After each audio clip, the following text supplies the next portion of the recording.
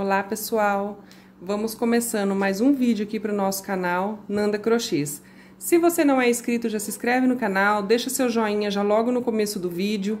Hoje a gente não vai ter aulinha não, eu vim aqui mostrar para vocês o que eu fiz com as sobras da linha, com aquele vídeo do coração que eu fiz, foi o vídeo anterior. Eu vou deixar aqui na descrição do vídeo a aula desse coração que a gente fez aqui, desse square é que eu, fiz um tapete que ficou tão bonito que eu tive vontade de vir mostrar para vocês como que eu fiz. É, ficou bem colorido, acabei com os restinhos. Aí eu vou dar só uma explicaçãozinha aqui, tá? E mostrar para vocês o tamanho que ele ficou. Gente, olha só que lindeza de tapete. Olha como que ele ficou bonito. Aquele squarezinho de coração foi até esse aqui, ó, que a gente fez na aulinha. Aí eu peguei todos os restinhos que eu tinha pra gente acabar com aquelas sobras de barbante e lucrar com isso ainda, né? Aí eu coloquei um viradinho pra baixo, um pra cima, pra ele não ter um lado certo. Ó, esse tapetinho com seis square, ele ficou, olha aqui, ó, com 79 centímetros, porque o meu ponto é bem grandão, o squarezinho, só ele, ó, só o square, ele tem aqui, ó, 23 centímetros de largura. Agora aqui, ó, o comprimento, né? Que o coraçãozinho tá deitado aqui, ó. Ah, ele tá meio que certinho aqui, ó, 23 por 23. Quase 24 de comprimento. É um tiquitinho só é, maior de comprimento, coisa de um centímetro. Gente, olha só, eu fiz o 6 square Aí eu peguei e na hora de juntar um com o outro, eu, eu fui alinhavando. Como a gente fez ele com as pontinhas arredondadinha, eu não juntei tudo aqui para não ficar ensacadinho, né? Aí o que, que eu fiz? Eu fui pregando assim, ó. Aqui é só ir alinhavando um ladinho com o outro, contando os pontos certinho.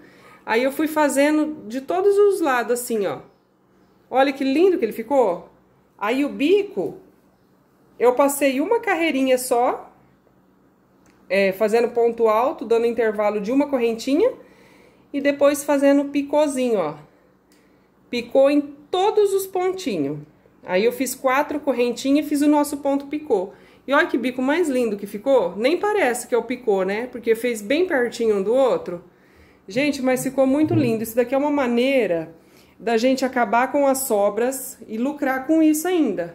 Porque o tapete ficou grande, ficou bem legal, viu? E eu acabei com todas as sobrinhas. Eu marquei aqui pra vocês o tamanho e não marquei a, a largura, né? Ó, de largura, ele ficou com 56 centímetros. Então, ele ficou com 56 por 78, foi isso que a gente viu? Ele ficou bem grandão. E fora que a gente consegue lucrar e não, não fica com um monte de sobra. É, ó. É isso mesmo, ó. 56 por 78. Fica um tapete de um tamanho bem bom e é bem diferente, né? Olha que coisa mais linda que ficou. Ah, gente, hoje não foi uma aulinha não, mas é porque eu achei o tapete tão lindo que eu queria compartilhar com vocês.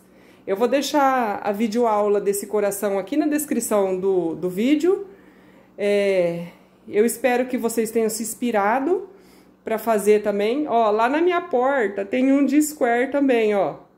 Só que esse eu fiz quadradinho. Até tem aqui também, ó.